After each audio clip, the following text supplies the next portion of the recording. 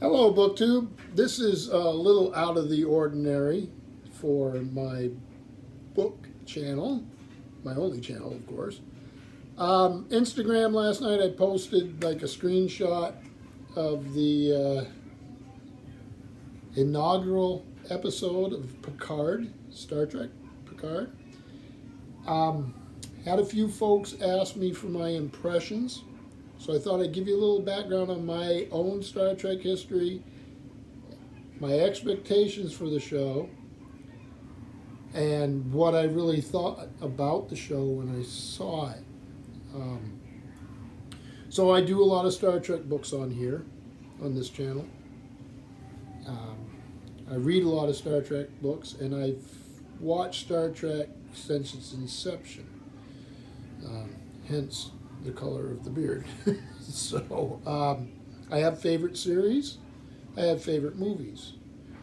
Uh, my favorite series is the original series um, with uh, Captain Kirk, McCoy, Spock, uh, Scotty, uh, Uhura, Sulu, and, and the lot, and Chekov, and the, the list goes on. Wonderful storytelling. There's a reason why we have so many iterations of this uh, of this fictional world, and it's been just as warped as uh, warp speed over time. And it was visionary, and it was. Um, I remember things that affected me as a young person. Popular culture can really change a young person's perceptions from that of their own parents or their own community. Um, and uh, obviously media is plays a huge role in that kind of socialization. So for me, certain things have stood out. IDIC, infinite diversity and infinite, infinite combinations. In other words, take the diverse world, embrace it, it gives you strength. Um, the logic, albeit uh, a logic that was uh, fraught with peril for Spock um, the relationships between the crew members, um, and the loyalty and friendship, and the fact that uh, there was um, the prime directive where you didn't interfere with another culture. So um, I learned a lot, looked up to, and modeled some of my own life on that that sort of behavior. We went into a uh, a uh, spell where we had nothing there was a lot of fan fiction. There was a lot. The novels became very important. James Blish with his uh, novelizations of the episodes, and then we had the animated series. And in time, movies, The Next Generation, which I was not as thrilled with. I thought the relationships between the characters lost some of that luster lost, uh, there's a little more self-interest, maybe it reflected the society, the views of society. I enjoyed Voyager, Deep Space Nine I liked. Uh, contrary to a certain group of Star Trek fans, I absolutely loved Enterprise. Um, and then um, course, Discovery is out there. Mm, not a huge fan, and that's because of, and again, it reflects the time. Um, teamwork uh, to me was important in Star Trek, having a common goal and a, an ethos of understanding. And uh, but that jury's still out. I haven't kept up with that series, and it would be very unfair for me to get too critical. So I will rewatch it. Um, these things are always a work in progress and good fiction on the screen or in books or uh, anywhere. Um, that that's part of what you do. We revisit stuff at different times in our lives and maybe have a different perception. So when I heard Picard with Jean-Luc Picard from The Next Generation was going to have a series, um, I decided, well, I, I will watch for it and I will watch the first night, but I was wary. I was expecting to be disappointed and hoping not to be. Um, I also found out at the time that Wil Wheaton, who played Leslie Crusher, or Wesley Crusher, excuse me, that was a slip, was going to be uh, hosting a show afterwards called The Ready Room. And I like him. I think he gets a bit of a bad rap sometimes from Star Trek fans because of a character he played that he did not write. And uh, he's done many things with popular culture and science fiction since. He has an Instagram face, uh, page. I'm just having trouble with words today. Um, as many of you will know, I'm recovering from a little bit of an illness, so I'm uh, you probably see it in the cheeks here. So I'm a little off the game, but I was on the game enough last night to sit down and watch. And um, I'd like to give my first impressions. And for the most part, they're positive. And that's a wonderful thing. We're one episode in. Season one, episode one, aired last night on CBS All Access. Uh, because I have that, I do need to go rewatch Discovery and give it a chance. So uh, those of you who don't like it, comment, and those of you that do, comment also. And uh, um, I'll try to wipe the slate clean and start from episode one again and and give it a view. But this is about Picard. So, not my favorite starship captain, um, but not my least favorite. And um, so I didn't know what to expect. First of all, excuse me, there's going to be a lot of that. I'm sorry. The opening music, and I do have here, I think I, I tried to put this so I'd have the names. Yes, the composer is Jeff Russo. Absolutely enjoyed it. And if you watch The Ready Room with Wil Wheaton after you don't watch it before you watch Picard because there's spoilers and he says right off there. Um, I like the music, and music's always been a big part of the history of Star Trek. So um, I did. I thought it was suited to the subject matter and and the feel I've gotten off the, uh, the first episode, which is called Remembrance. So we start with Jean Luc.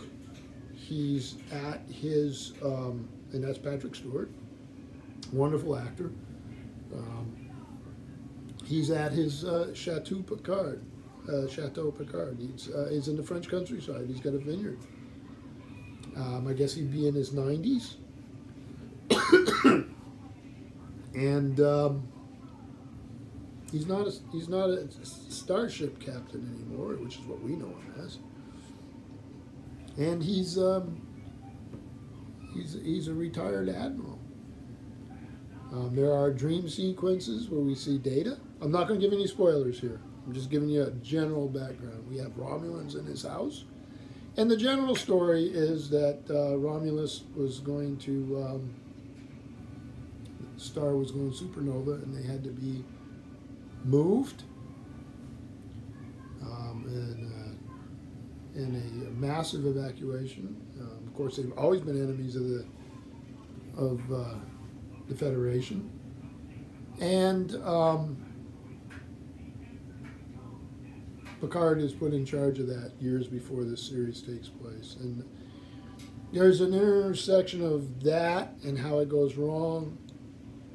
Picard's given the Federation ultimatum, we got to do this or I'm gone, and they take him up on it. And uh, data. And um, what happens to data and, um, and how that leads to this adventure. And I'll leave it at that. Couple things that I liked. Picard is already tired, not only of his situation, but of how he handled things. There's a crisis, of course, you got to start the story that way. and it brings out character flaw. Now, his strengths, you know, and he, he certainly does, but they, they don't, he doesn't start at the in a spot like that. Number two, the challenge that comes is sort of unexpected and very interesting. Uh, the settings are magnificent. If we'd had those for the original series, oh my goodness, oh my goodness, and that's just the way the world is now. But they're wonderful. Um, we see Starfleet, we see France, we see it, the cities, we see, uh, but it's not overdone. It's there. It's you get it, and they don't browbeat you with it. Fast action scenes, and a lot of action on a physical level, on, on a um, on a um, person to person level. So it doesn't. There's not a lot of info dump, dumping. If you're a fan of the next generation, you'll see these little pieces. Uh, I'm not going to tell you where. You will enjoy them, but they're there and they go. So if you've never seen it, you don't have to dwell on it. it does add layers, layers of um, context. Even if you're not getting it, you can feel it and and that makes it a more real world. There's there's a world building going on. And then I thought they ended on the note they should have.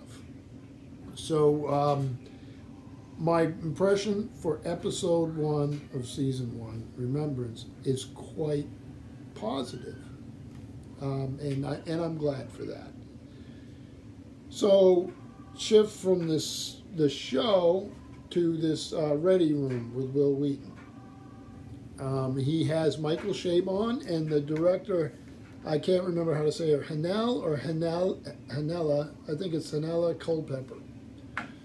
Both of them, Wil Wheaton talks to about how they put the show together. And I thought that um, on color and wanting to make uh, uh, of the film palette, and wanting to make the series different than Discovery, which I thought was interesting. And that that Culpepper was really, really interesting on. Michael Chabon on how do you deal with a 96 year old man, which would, it's not the same as being 96 now, it, this is in the future, obviously, where lifespans are different, but you still get the point. How do you do that? How do you deal with that conflict of, well, maybe I walked away too quick. Maybe I, I've been sitting here wasting time. Now, everybody always thought that Picard was going to end up at Chateau Picard when he retired, and that seems like the ultimate place for him to be, but looks like his business isn't done and then friendship. And we'll see some of that friendship. And I think that's a good focus for the show. Um, and I like the fact that there's action sequence after action sequence, tension, not a lot of info dumping, thank goodness. And, and they may do that in the future, and I hope they don't. And then the character development. I was pleased. So um, we'll have to get Steve Donahue up here. Um, and him and I can watch it together and go episode by episode and maybe hash out some differences or agreements. Um, I did want to throw this out there because I know some folks were interested. I do have um, hopes. Uh, the jury's out; it's way too early. Um, there was some uh, there were some really positive signs though, so let's give it a chance. Uh, not everybody will agree, and that's fine. Um, and uh, I, I, I will watch the next one, um, and I will uh, hope that they can maintain this, and uh, we will see. And that's the fun, right? Let's see where Picard goes. So, um, a little bit of a, for a booktube channel, a little bit of a television series uh, review, I guess. Not really a review, but just orientation. And I hope you all enjoy it. And I'm going to go uh, relax a little bit. So thank you, BookTube.